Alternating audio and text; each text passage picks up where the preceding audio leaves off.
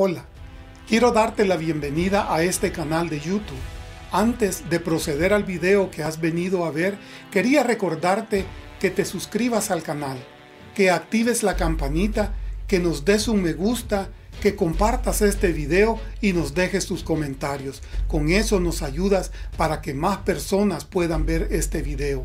Dios te bendiga.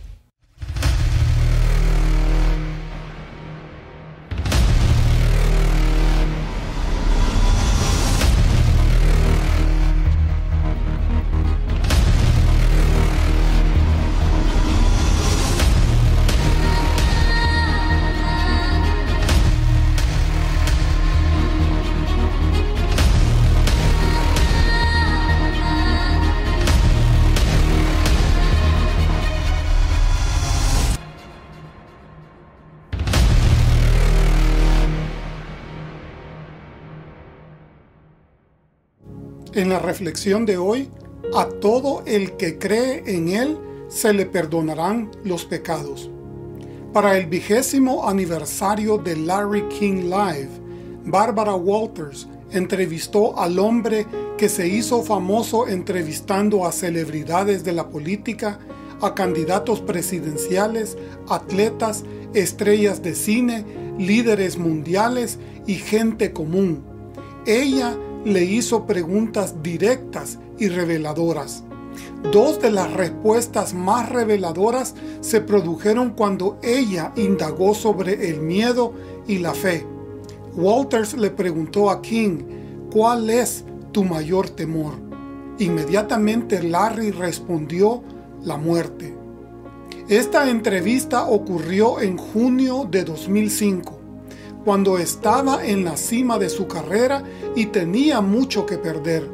Pero nada de eso importaba en comparación con el miedo a la muerte. Su pregunta de seguimiento fue, ¿crees en Dios? A lo que King respondió, no estoy seguro, soy un agnóstico.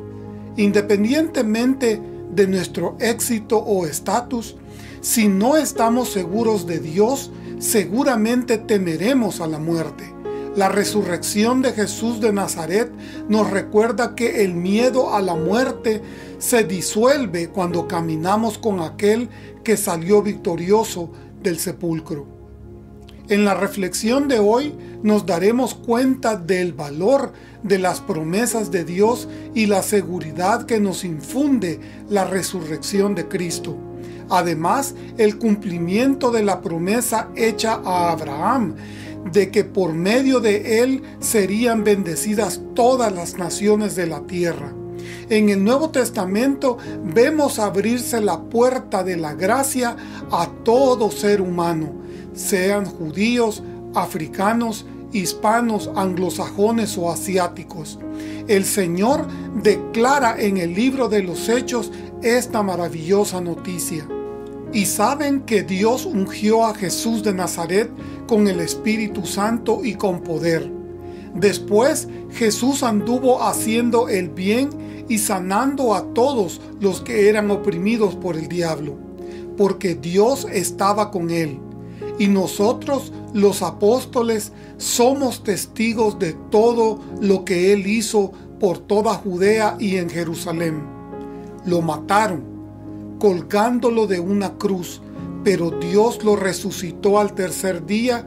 Después Dios permitió que se apareciera no al público en general, sino a nosotros, a quienes Dios había elegido de antemano para que fuéramos sus testigos. Nosotros fuimos los que comimos y bebimos con Él después de que se levantó de los muertos. Y Él nos ordenó que predicáramos en todas partes y diéramos testimonio de que Jesús es quien Dios designó para ser el juez de todos, de los que están vivos y de los muertos. De Él dan testimonio todos los profetas, cuando dicen que a todo el que cree en Él se le perdonarán los pecados por medio de su nombre. Libro de los Hechos, capítulo 10, versos del 38 al 43. Este pasaje se desarrolla en la casa de un hombre llamado Cornelio. Él y los de su casa fueron testigos de un cambio magistral en cuanto a la gracia de Dios. El mundo gentil no gozaba de la suerte y las promesas del pueblo de Israel. Este día, en casa de Cornelio, el rumbo de la historia cambió a beneficio de los gentiles. ¿Quién era Cornelio? Fue un centurión del ejército romano. ¿Sabes lo que es un centurión? Era un oficial del ejército de la antigua Roma que tenía a su mando una centuria, o sea, a cargo de un batallón de 100 soldados. Según el Nuevo Testamento, Cornelio fue el primer gentil en ser bautizado en la fe cristiana. Aunque no era judío, sino romano, nos dice la escritura que era un hombre temeroso de Dios. Ayunaba, oraba a Dios y daba limosnas a los pobres. En sí era un prosélito de la fe judía. A pesar de ser un militar en las fuerzas romanas y un hombre adinerado, su corazón estaba dispuesto en reconocer que el Dios Altísimo reina sobre los cielos y la tierra. Dios ve el corazón sincero de este hombre y efectúa la transición inicial para incluir a los gentiles en las promesas dadas a su siervo Abraham. En Génesis Dios le hizo una promesa a Abraham que continuó mucho más allá de la vida de este patriarca. ¿Cuál fue esta promesa? ¿Se siguen aplicando las promesas hechas a Abraham el día de hoy? Cuando Dios comenzó a trabajar con Abraham, su nombre más tarde fue cambiado a Abraham. Dios le dio un mandato y una promesa asombrosa inquebrantable y fiel. La orden fue, sal de tu tierra, de tu familia y de la casa de tu padre a una tierra que yo te mostraré. De acuerdo a Génesis capítulo 12 y versículo 1. La fe de este hombre alcanzó la misericordia de Dios y la humanidad entera hasta el día de hoy es beneficiada de esta promesa divina. La obediencia de Abraham dio paso a esta maravillosa promesa de Dios y que la encontramos en Génesis capítulo 12 y que nos dice así. Haré de ti una gran nación, te bendeciré y te haré famoso, y serás una bendición para otros. Bendeciré a quienes te bendigan y maldeciré a quienes te traten con desprecio Todas las familias de la tierra serán bendecidas por medio de ti. Génesis capítulo 12 versículos del 2 al 3. Casi 2091 años transcurrieron desde la promesa a Abraham al nacimiento del Mesías y 37 años desde el nacimiento de Cristo hasta la conversión de Cornelio en el libro de los Hechos. La promesa de Dios siempre se cumplirá aunque así parezca tardarse. Lo que sucede es que las promesas de Dios llegan en el momento más indicado. Él sabe cuándo debe de cumplirse. Cuando este evento acontece en casa de Cornelio, el destino del mundo gentil es cambiado. Este evento ocurrió aproximadamente 2130 años después de la promesa dada a Abraham de abandonar Ur de los Caldeos a la tierra prometida de Canaán.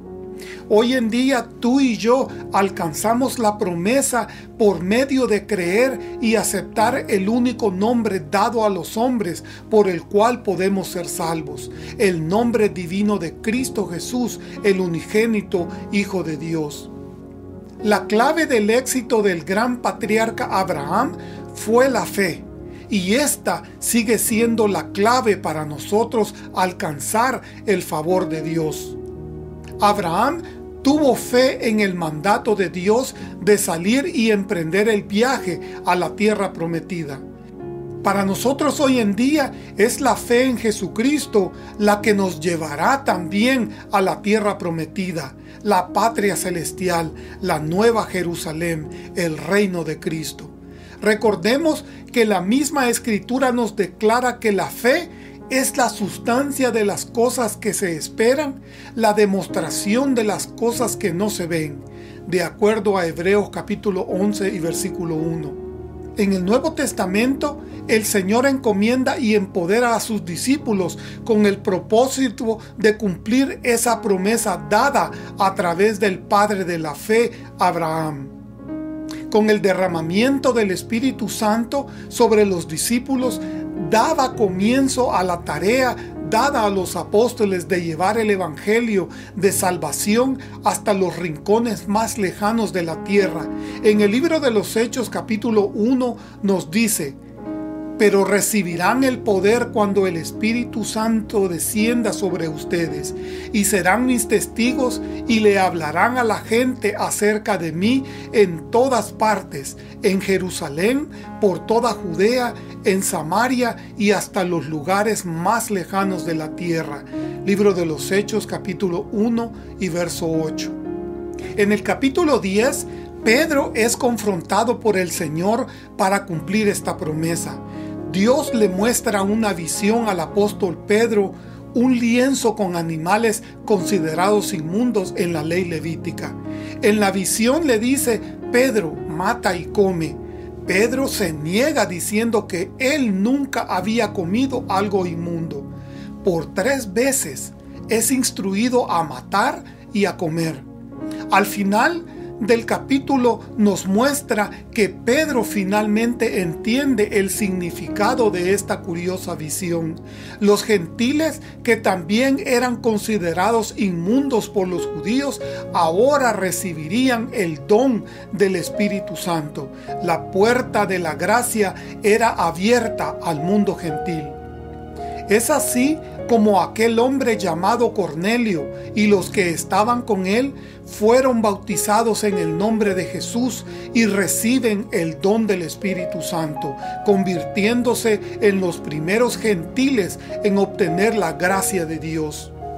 Gracias a ese evento, ahora el Evangelio de Jesucristo es predicado en todos los rincones de la tierra el testimonio de los apóstoles, de los discípulos, de Pablo y todos aquellos seguidores fieles de Dios han llegado hasta nuestros oídos. Hoy tú y yo somos alcanzados por la gracia divina de Dios. Todo lo que se necesita es creer en el Señor Jesús para recibir el perdón de pecados. Al entregar nuestro corazón a quien dio su vida por la nuestra, nos hace partícipes de la promesa de heredar la tierra prometida, la herencia final del reino de Cristo, la patria celestial. Esa oportunidad nos es dada a ti y a mí. La puerta de la gracia permanece abierta hasta el día de hoy para que por ella entren todos aquellos que reciben el perdón de Dios a través de la sangre preciosa de Jesucristo. El mundo necesita escuchar las buenas nuevas de salvación. Una noche los autos aceleraban a lo largo de la carretera entre Jackson y Vicksburg, en Mississippi. Los conductores tenían fe en sus autos y en los puentes sobre las aguas. Pasaban sobre aquellos puentes a 50 o 60 millas por hora. Todo estaba en orden. Los tramos de concreto se mantenían firmes sobre los ríos y pantanos.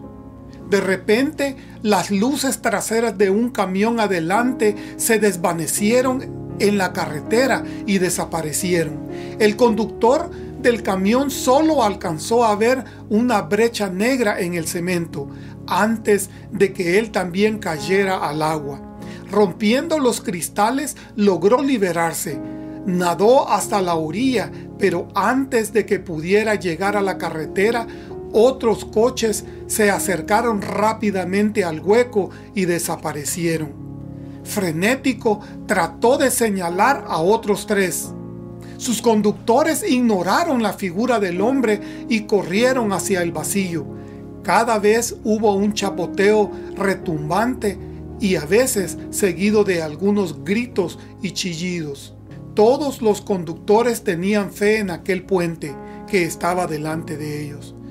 Esto nos recuerda que hay solo un puente que cruza el golfo de la muerte. Cristo dijo, nadie viene al Padre sino por mí. Hay del hombre que intente cualquier otro camino. Su fe no lo llevará al cielo. La fe debe tener un fundamento adecuado y ese es Cristo.